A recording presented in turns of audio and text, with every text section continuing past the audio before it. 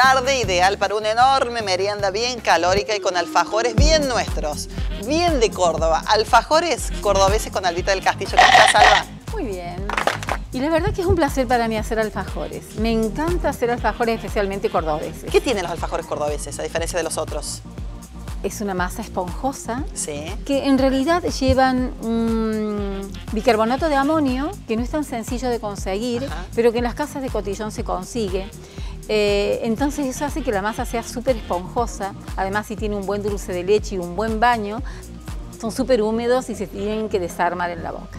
Uno cuando los prueba se da cuenta cuáles son los cordobeses, Sí, ¿no? además eh, lo más importante es el sabor, ¿no? Claro.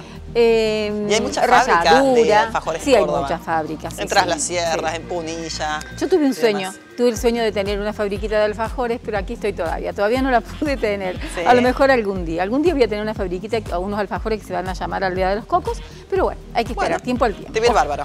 Bueno, paso Bueno. número uno para esos alfajores Vamos cordobeses. a empezar. Acá tengo manteca, punto pomada, que la estoy, ya estaba ya previamente batida con azúcar impalpable. No tiene azúcar impalpable, no hay problema. La puede hacer con una azúcar refinada. Ahí vamos, así. ¿Y qué más le voy a agregar? Acá decía que tenía manteca y azúcar impalpable. A mí me encanta a estas masas ponerle una pequeña cantidad de aceite. Las recetas de los alfajores que uno compra ah, industrialmente llevan, eh, generalmente, llevan un poco de aceite. Bien, yo también le pongo porque me gusta, me gusta cómo sale la masa.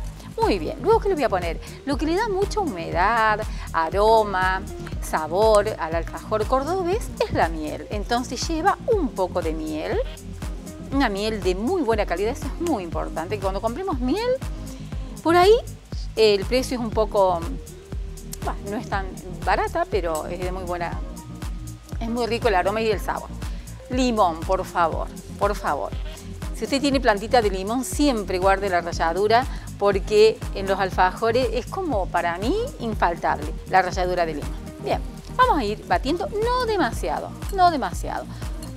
Agrego huevo y yema. En realidad siempre se agrega de a uno. Bueno, yo estoy, yo no puedo tomarme a lo mejor tanto tiempo. Entonces aquí, aparte estoy haciendo una parte de la receta nada más, no estoy haciendo la receta completa. Muy bien. Una vez que integramos un poco así, la yema, huevo. ¿Qué más le voy a poner? Yo, yo le voy a poner un poquito de licor. ¿Qué, le- estoy poniendo? Aquí un chorrito de coñac. Bien. O si tuviese uno de esos coñac, podría ser oporto. Algún licorcito. Me encanta que en estos alfajores haya un to Y esto es vainilla, este es esencia de vainilla. Hay un detallito. Pero le demos sabor y le demos, ar- le demos aroma. Es decir, que lo que más importa del alfajor es la masa, las tapitas. Las tapas es muy importante, porque bueno, está, está bien que, con la- que ya con el dulce luego va a estar muy rico, pero que el sabor de la masa se siente. Claro. Hace unos días yo comí unas galletitas eh, que eran un poco dietéticas, Un poco. un poco, pero en realidad no tenían sabor a nada. Fue una pena, de verdad, porque mm, eran galletas veganas, entonces no tenían lácteos ni tampoco tenían... eh, eh, no tenían ni lácteos ni huevos, ¿Cómo le va a la Pero- asistente del día de hoy? pero de verdad es que no tenían sabor. Y el sabor no era la leche o los huevos, en realidad el sabor se lo iba a dar una... una oh, muchas gracias. Bueno, pero también se ha perdido un poco eso, ¿no? De la comida tradicional, los ingredientes. Como que claro. todo tiene el mismo sabor. Exactamente, y justamente es lo que tenemos que Recuperar, lograr, ¿no? claro. Recuperar los sabores auténticos, los aromas auténticos. Eso es una maravilla. Bueno, ¿cuál es el secreto de esta masa? Que no se la debe trabajar casi nada, es solamente unir. No podemos amasar. Unimos un poco, la dejamos reposar en la heladera. Bueno, a veces la podemos dejar tres o cuatro horas y si estamos más apurados la vamos a dejar menos. Bueno, yo la voy a dejar en este punto. Es una masa que va a resultar tierna, que no se va a pegar a las manos y que no la vamos a amasar.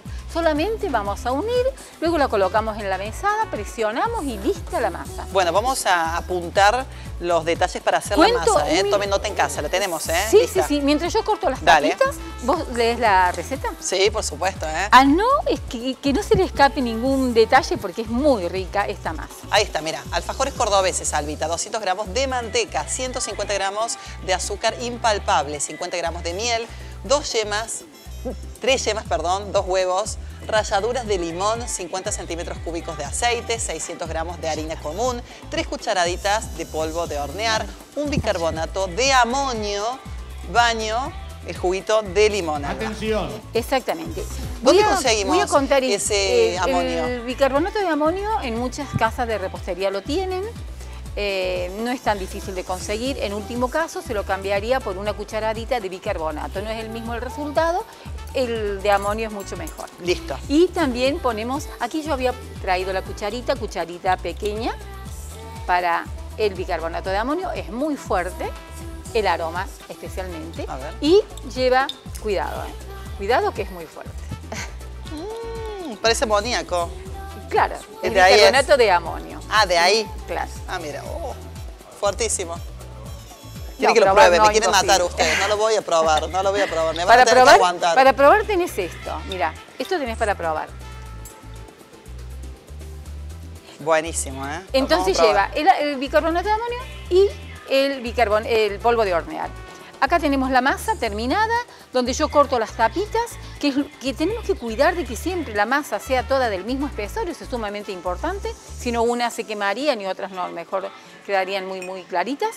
También los alfajores estos, miren, aquí tenemos tapitas terminadas, que en realidad solo están apenas doradas abajo, pero arriba ya están terminadas. ¿Qué?